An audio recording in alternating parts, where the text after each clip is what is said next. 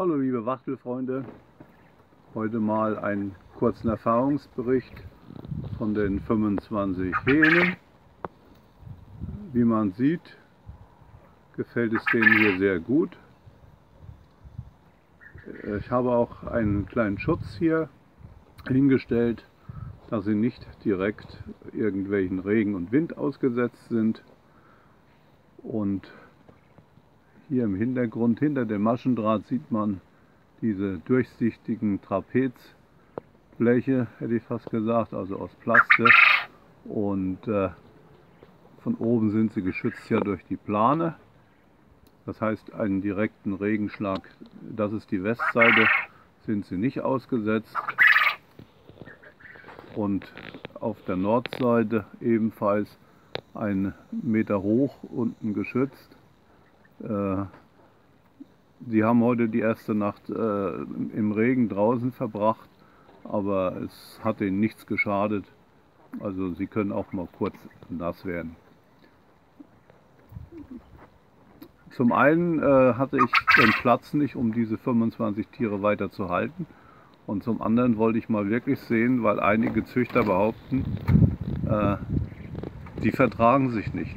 Wie man hier auch sehen kann, gibt es immer so kleine, naja, wir hopsen mal auf den anderen rauf und versuchen zu treten, aber richtige Streitigkeiten hier kann man eigentlich gar nicht beobachten. Es ist eine Alternative. Ich wollte die nicht äh, mit äh, vier Wochen schlachten. Ja, man hört es. Bei dem Wort schlachten fangen sie alle an zu krähen.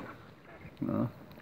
Sicherlich, sie picken sich mal, aber es geht immer noch. Es ist nicht so, als wenn man äh, zwei in äh, einen Quadratmeter Käfig sperrt. Da gibt es ja Mord und Totschlag. Gut, jetzt schauen wir mal, wie es in den nächsten Tagen hier noch weitergeht. Äh, zum einen wollte ich mal das ausprobieren mit den Hähnen, wie gesagt, und zum anderen, äh, wie verhält sich das äh, überhaupt, diese Tiere in einer großen Voliere gemeinsam zu halten. Ich bin ja nun Züchter und nicht nur Wachtelhalter und äh, da fallen eben auch sehr viele Hähne an und bevor man die dann schlachtet, sollten sie ja schon ein bisschen größer sein. Ah, hier sieht man mal wieder kleiner Kampf. Sicherlich, es sind eben Hähnchen, aber sie vertragen sich auch. Wenn es nicht mehr klappt, naja, der Kühlschrank ist auf jeden Fall das Ende. Was ich also beobachtet habe noch, sind diese Sandeimer, die jetzt nur hier drin stehen in der Voliere. Und äh, die werden so gut wie nicht genutzt. Ne? Das ist überhaupt nicht. Was mich noch gewundert hat, sie sind sehr, sehr zahm. Also sie kommen, sie kommen zu mir, ich kann sie anfassen.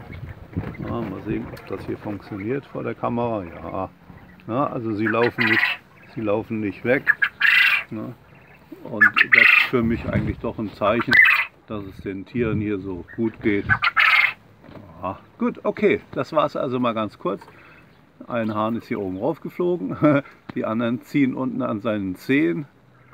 Wird man vielleicht nicht hier auf dem Video erkennen können. Äh, ganz böse Falle, aber was soll's. Ja. ja, vorher, bevor ich hier den Schutz an der Seite hatte, äh, konnten sie an den rote Beete Pflanzen, die hier draußen sind, sich laben. Wirklich, äh, sie haben also den Kopf durch das Gitter gesteckt. Hat schon gedacht, die kommen gar nicht mehr zurück, aber es hat noch funktioniert. Jetzt kommen sie nicht mehr ran, aber die kriegen genügend Grünes hier. Kein Problem. Hoppla. Gut, bis zum nächsten Mal. Schönen Tag noch.